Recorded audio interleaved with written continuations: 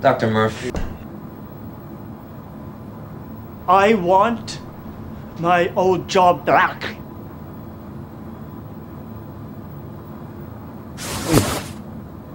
What are you doing, Shaun? I saved the patient. I'm a surgeon.